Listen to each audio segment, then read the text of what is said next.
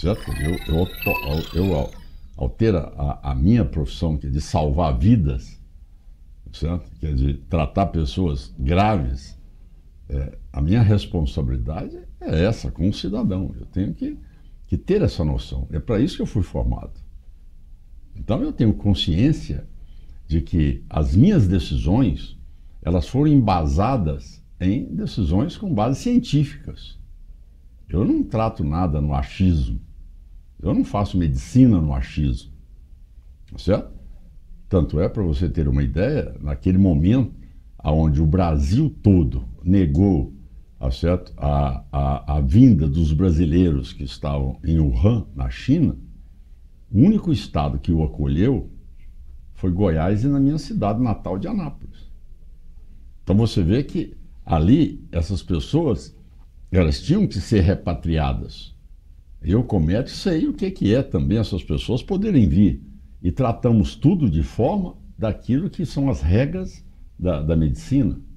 A vacinação é algo que nós temos que mostrar às pessoas que é para que a gente possa combater consequências que virão e que vieram, tá certo, com óbitos em proporções elevadas. Então, se eu tenho um desentendimento com alguém que tem outra opinião, tá certo? Isto aí não é motivo. Cada um tem a sua convicção. Ele tem a dele, eu tenho a minha.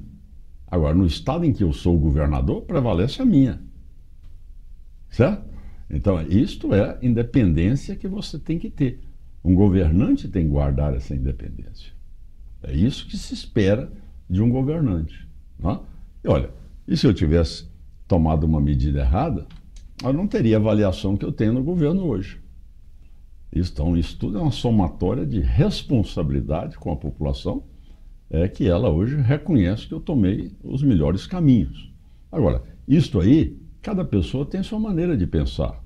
Eu, eu, eu respeito o direito da pessoa, é divergir.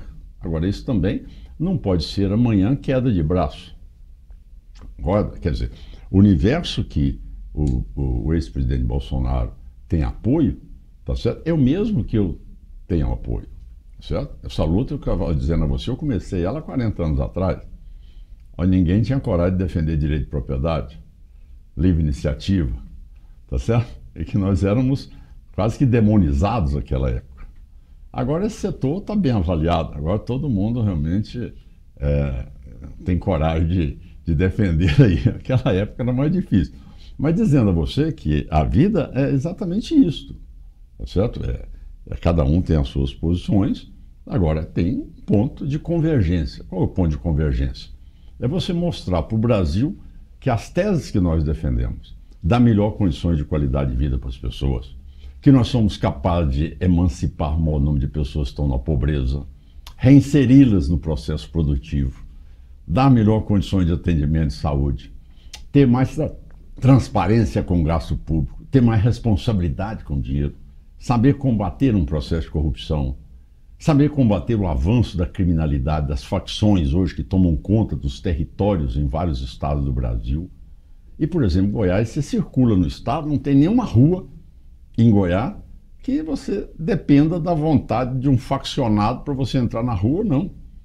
O território ele é todo ali à disposição dos brasileiros ou dos goianos que ali vivem.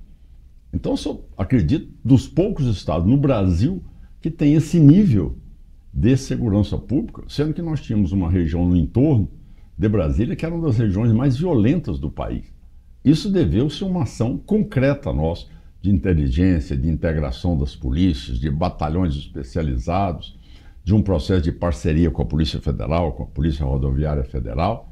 E Goiás hoje se mostra com quedas assim é, de, de crimes, algo é, que ninguém nunca viu no país. Por exemplo, roubo de carro, chega a queda de 97%. Se roubava mil carros por mês em Goiás, em 2018. Então, quer dizer, é, era, era latrocínio, era sequestro de pessoas, assalto a bancos. Nunca se teve um assalto a banco mais desde que eu sou governador.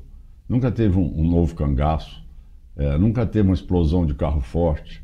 É, enfim, você vê que as pessoas vivem hoje em tranquilidade. E daí o desenvolvimento de Goiás.